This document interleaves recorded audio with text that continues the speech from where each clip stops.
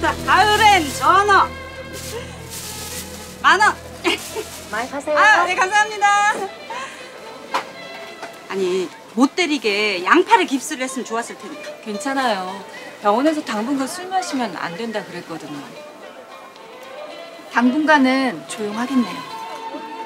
언니, 저 이제 가볼게요. 어. 수고해요. 정혜야, 뜨거워. 디어, 디어. 그만. 아, 초철이 보고. 아, 빨리 한 잔 타놔.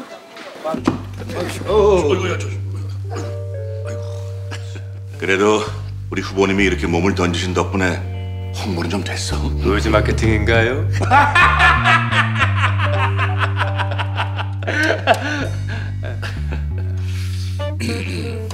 아, 요즘 그런 마케팅 전략이 또 없습니다. 우리 동남아들 인정이 약해서 말이야. 우리 후보님의 이런 모습 인상적으로 남아서 응원하게 되거든. 응?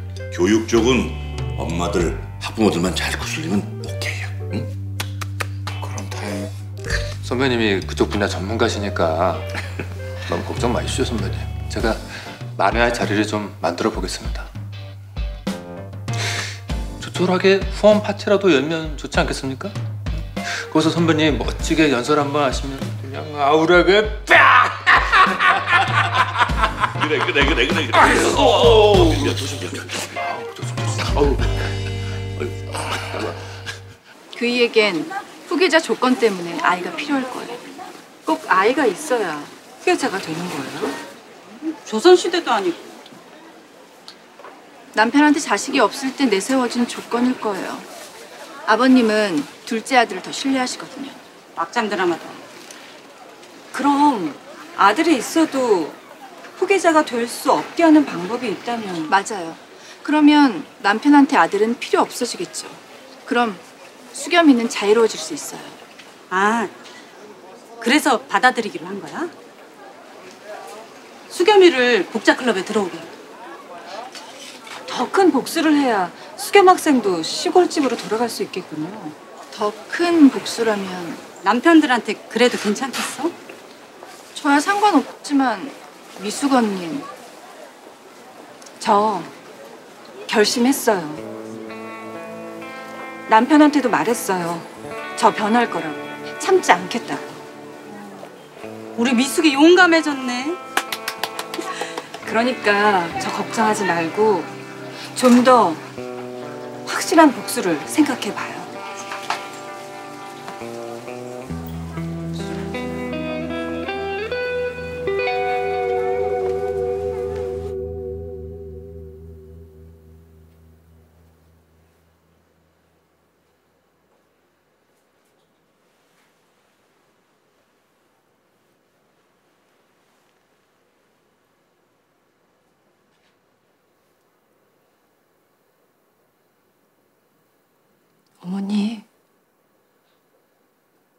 죄송해요. 어머니 아들 좀 힘들게 될지도 몰라요.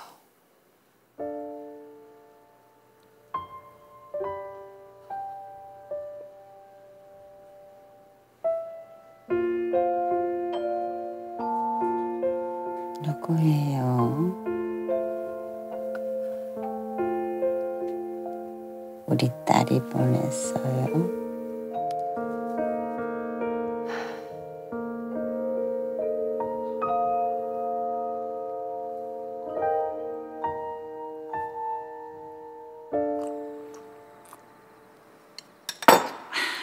희수 거보다 나을 때가 됐는데 아직 멀었어. 근데요 처음부터 궁금했는데요 사모님은 왜 아버지랑 같이 사십니까? 뭐 이상형 따로 현실 따로 그런 겁니까?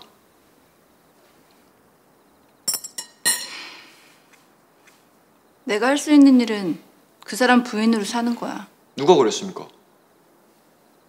누가 그래 살라 했습니까? 집안 관계 다른 사람들 의견 다 지우고 사모님은요? 사모님은 스스로 어떻게 하고 싶으신 건데요? 그게 내 의견은 그런 건 중요하지 않아. 어차피 안 될 테니까.